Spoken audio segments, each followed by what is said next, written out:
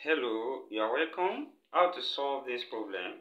2 raised to power 10 plus 2 raised to power 10 equals to 2 raised to power x. From here, let's take 2 raised to power 10 out. And then when we divide by 2 raised to power 10, this remains 1 plus 1. Then equals to 2 raised to power x.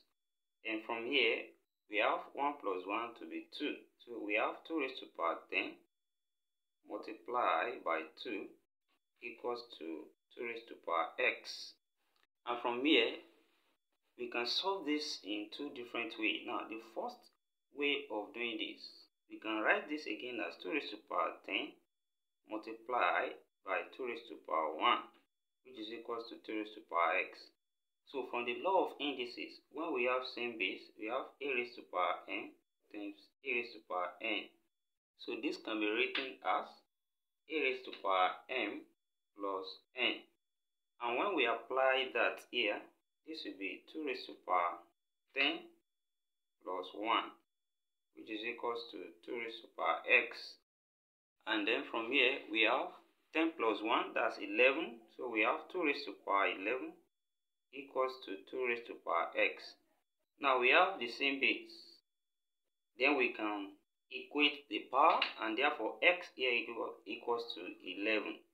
Now, in the next method of doing this, doing this, next way we have 2 raised to power, from 2 raised to power 10 times 2, this is equals to 2 raised to power x.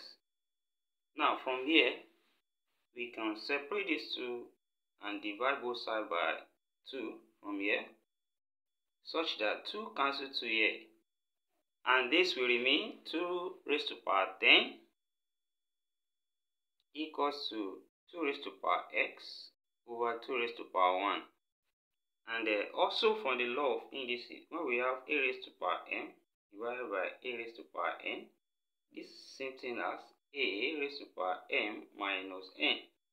So therefore we can write this as 2 raised to power 10 equals to 2 raised to power x minus 1 then we have same base as well. We have 2 here, 2 here, same base. Then we equate the power. That means we have 10 equals to x minus 1. And solving for x here, we can take minus 1 to this side. And that's 10 become plus 1 equals to x.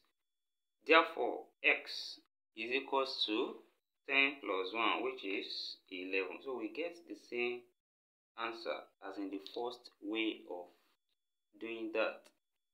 Thank you for watching. Don't forget to give a thumbs up and also subscribe to my channel in order not to miss out. Thank you. See you in the next class and bye for now.